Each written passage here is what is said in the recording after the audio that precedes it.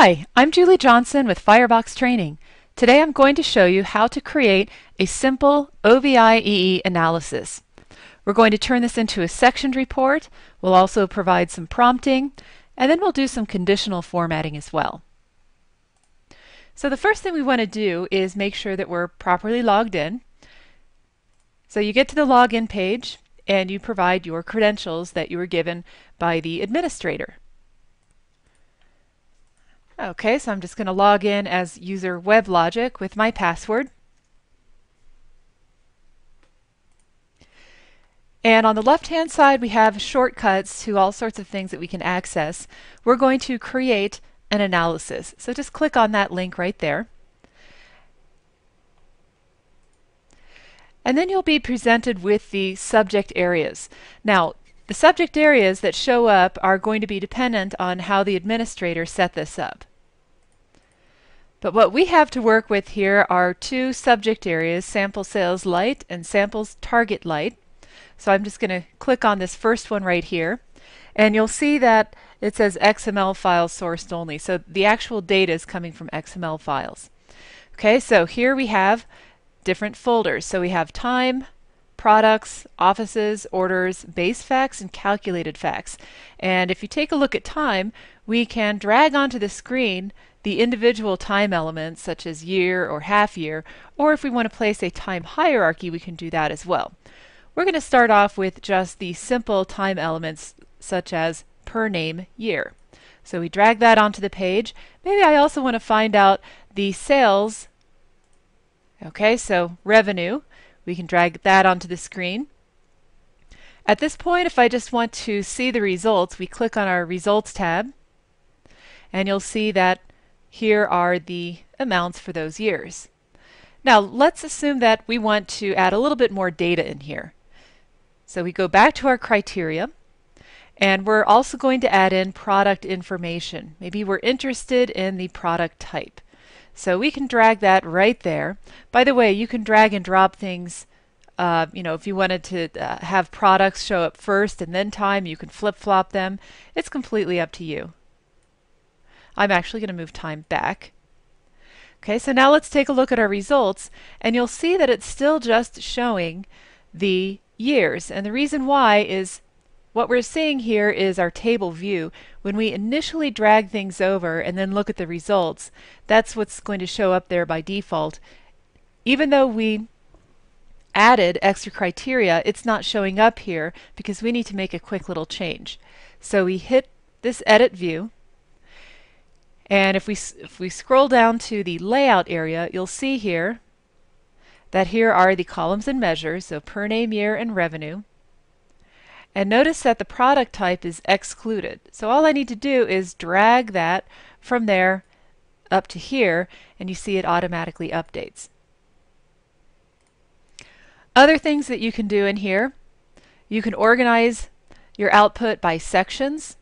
So for example, if I want to instead of having the year in this area right here, I can put this in the sectioned report area. So I would drag my time, put it right into here, and you'll see that our output now looks like this. We have 2008, our product type and revenue. We scroll down a little bit. Now we have a section for 2009 and so on. So if we wanted to have more detailed information, I could go back to my criteria. Uh, yes, I want to keep the changes in this view editor. Maybe I want to get a little bit more detailed and actually put the product. Okay, so drag the product onto there. And of course, we're going to now take a look at our results. And you can probably guess what the problem is. We need to just go into our table view here and edit our view and pull it from the excluded columns to the included column. So here is our product right here.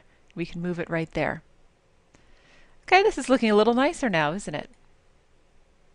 Now let's make this look a little bit nicer. I'm going to click on Done.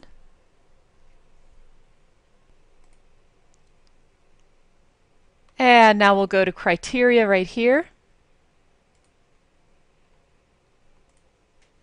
Here's our revenue. What I'd like to do is format things really nicely so it shows the dollar sign and commas and decimal point where necessary.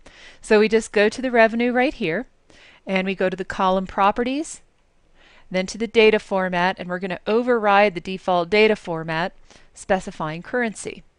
Currency symbol, United States dollar. Negative format, we have several options here. Decimal places, we'll stick with the defaults. And just hit OK towards the bottom. And now we're looking good. So let's take a look at our results now. Okay, that is looking a little nicer. Okay, so as I mentioned, this is a sectioned report. We can see 2008 and then 2009 and so on. You'll see also that uh, for accessories, we have two different products for accessories, but the word accessories is not repeated. That's one of the features that we can configure. If we wanted to, we could make this repeat.